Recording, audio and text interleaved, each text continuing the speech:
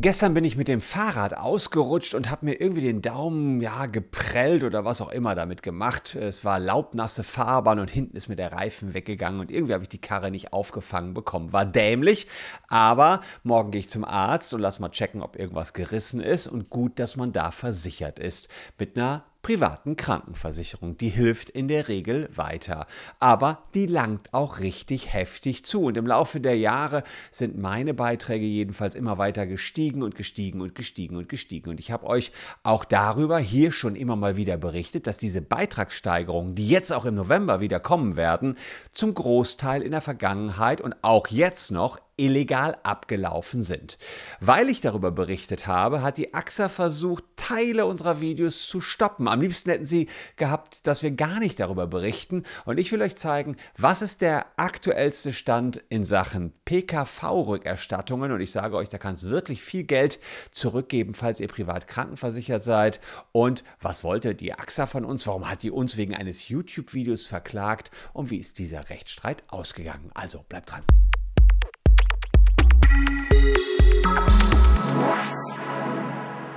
Hallo, ich bin Christian Solmecke, Rechtsanwalt und Partner bei WBS Legal in Köln. Und lasst ein Abo für diesen Kanal da, wenn ihr rechtlich zum Thema PKV-Update ja, up-to-date bleiben wollt. Und die Rückerstattungen der privaten Krankenversicherungen, die sind teilweise immens, weil da in der Vergangenheit einfach zu viel abgebucht worden ist. Man muss natürlich sagen, gerade wenn ich mir meinen Daumen so angucke, man kann ja froh sein, wenn man eine Krankenversicherung hat, egal ob privat oder gesetzlich, aber die langen einfach ziemlich happig und heftig zu und mit den Beitragserhöhungen haben die ein oder anderen von euch wirklich zu kämpfen. Denn man hat mal einen Tarif sehr günstig abgeschlossen, ein paar hundert Euro und plötzlich zahlt man da über 1000 Euro im Monat und man weiß gar nicht mehr, wo man auch in dieser schwierigen Situation das Geld auftreiben soll. Und jetzt pünktlich im November ist es wieder soweit.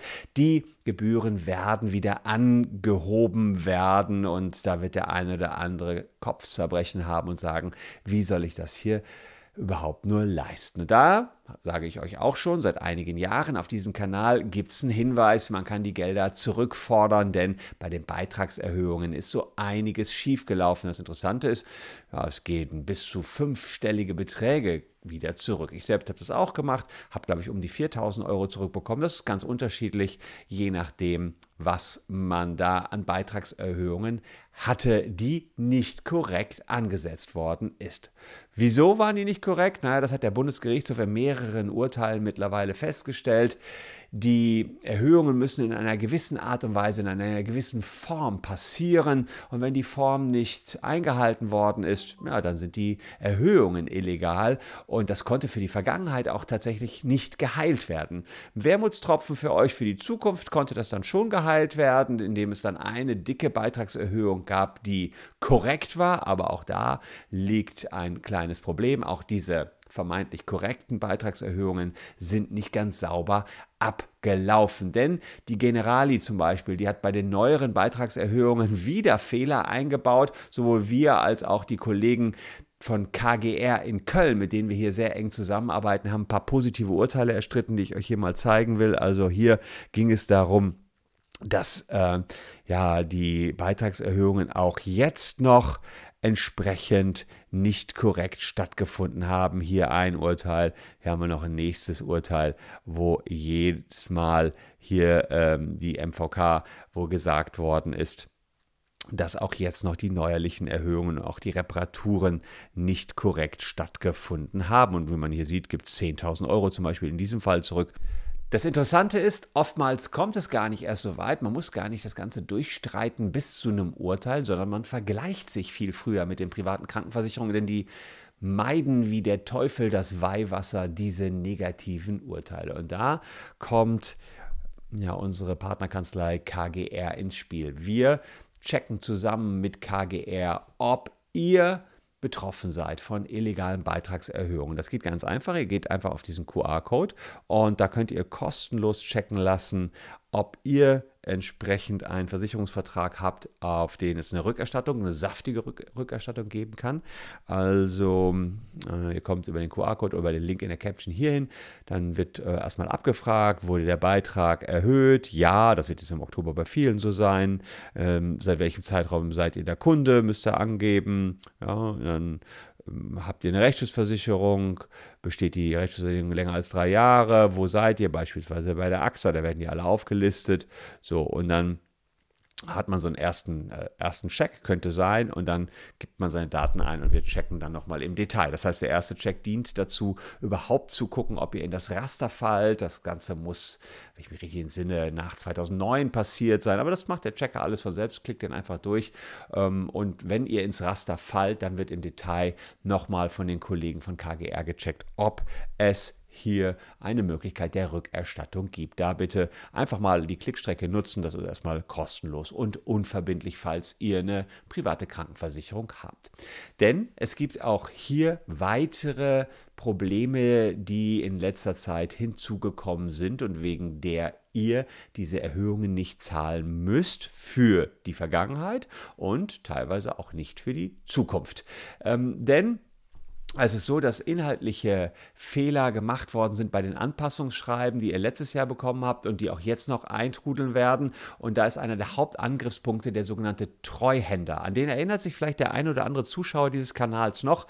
Beim Treuhänder, äh, zu dem wir übrigens auch später hier nochmal zu sprechen kommen werden, weil dieser Treuhänder ja auch unseren Streit mit der AXA-Versicherung betraf. Dieser Treuhänder ist eigentlich dafür da, zu checken, dass alles korrekt gelaufen ist, wenn es zu diesen Erhöhungen kommt. Und wenn Beiträge erhöht werden sollen, dann muss der Treuhänder das immer bestätigen und sagen, ja, das läuft. Er soll also überprüfen, ob die Krankenkassen richtig gehandelt haben. Ihm müssen also Zahlen, Fakten, Unterlagen, alles muss ihm vorgelegt werden. Der muss das alles nachvollziehen können. Und jetzt gibt es Urteile vom Oberlandesgericht Stuttgart aus 2021, vom Kammergericht in Berlin aus 2022 und vom Oberlandesgericht Braunschweig aus 2023. Und da wurde jeweils festgestellt, dass die AXA dem Treuhänder gar nicht alle Unterlagen vorgelegt hat. Also hätte er auch niemals der Erhöhung zustimmen können. Da muss man sich wirklich fragen, wie kann es dazu kommen, dass ein Treuhänder, obwohl er nicht alle Unterlagen hat, einen Haken dran setzt und sagt, ja, könnt ihr machen. Erhöhung passt. Ja, und diese drei Urteile sagen, äh, dass die Beitragsanpassungen damit alle unwirksam sind und die Gelder zurückerstattet werden müssen. Ich muss sagen, dass dieses Argument nicht vor allen Gerichten standhält mit dem Treuhänder, aber ihr seht, drei Oberlandesgerichte haben das immerhin so gesehen, wenn der Treuhänder nicht alle Unterlagen hatte und nicht vom Treuhänder die Beitragserhöhung akzeptiert worden ist, dann ist sie unwirksam. Drei dicke ähm, Urteile, die es in diesem Bereich bislang gibt. Und mittlerweile haben sowohl wir als auch unsere Kollegen von KGR den Angriff in diesem Punkt Treuhänder erweitert und zwar noch um die Berechnungsgrundlagen, auf die die Beitragserhöhung gestützt wird. Ähm, da geht es darum, ganz grob erklärt, dass es gesetzlich vorgegeben ist, dass Prämien, die ihr in die PKV einzahlt, erstmal recht großzügig kalkuliert werden. Das heißt, ihr ja, zahlt den monatlichen Beitrag und so eine PKV soll auch leistungsfähig bleiben und nicht sofort wieder pleite gehen. Deswegen sollen die Überschüsse ruhig auch erwirtschaften. Aber diese erwirtschafteten Überschüsse, wenn denn was übrig bleibt, sollen nicht dazu dienen, dass die Chefs der privaten Krankenversicherung sich irgendwelche dicken Villen kaufen. Nee, die Überschüsse, die sollen dann den Versicherten zurückgegeben werden. Und zwar entweder über Barrückzahlungen oder über sogenannte Limitierungen von Beitragsanpassungen. Also, dass die Beiträge nicht mehr so stark steigen.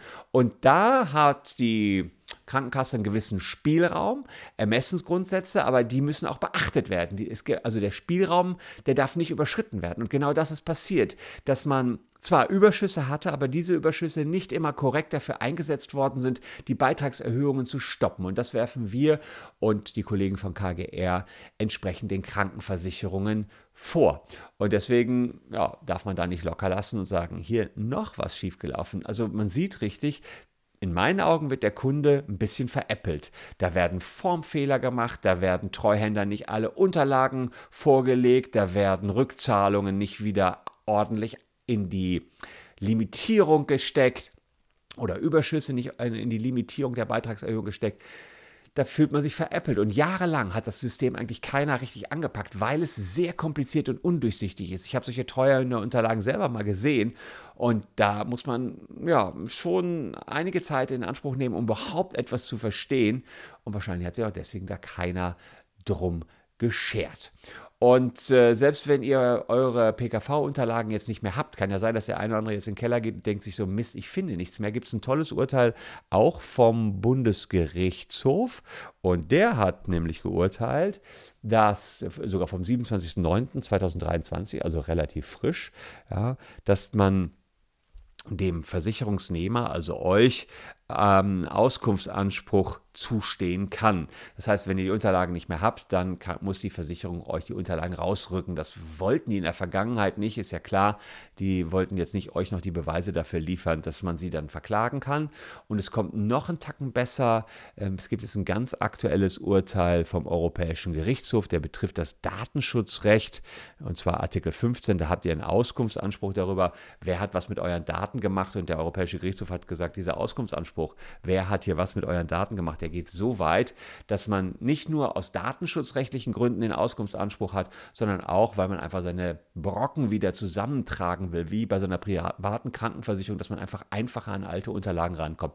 Das ist hier vereinfacht letzte Woche auch vom Europäischen Gerichtshof gesagt worden. Also auch dann lohnt es sich hier mal die Strecke durchzuklicken, zur Not besorgen wir bzw. unsere Kollegen von KGR euch die entsprechenden Unterlagen, weil die Krankenversicherungen die oft nicht freiwillig rausrücken, muss man das möglicherweise einklagen, lohnt sich aber in jedem Falle.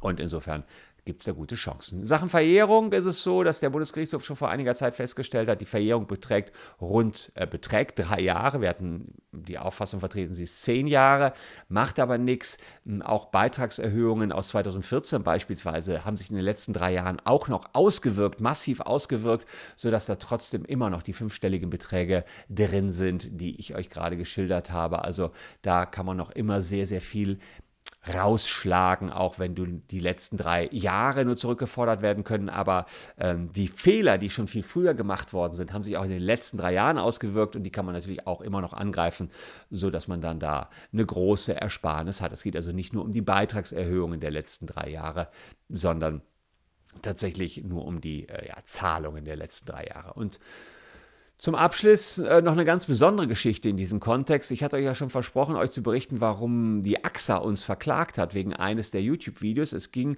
um dieses Video hier, ähm, was ich vor etwa oder vor ziemlich genau einem Jahr gemacht habe.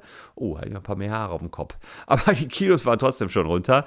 Ähm, und da habe ich in diesem Video Folgendes gesagt, was dann hm, ja, Gegenstand eines relativ heftigen Gerichtsstreits mit der AXA wurde, die eben gar nicht wollte, dass wir euch das hier so präsentieren. Erstmal hören wir rein, was ich da damals von dem Jahr gesagt habe. Zweite Sache haben wir noch gefunden. Die Probleme mit dem sogenannten Treuhänder. Wenn man wissen will, ob die Kosten ordentlich angestiegen sind oder nicht, dann beauftragt man einen Treuhänder, einen unabhängigen Menschen, der beurteilt, ob wirklich die Kosten so stark gestiegen sind.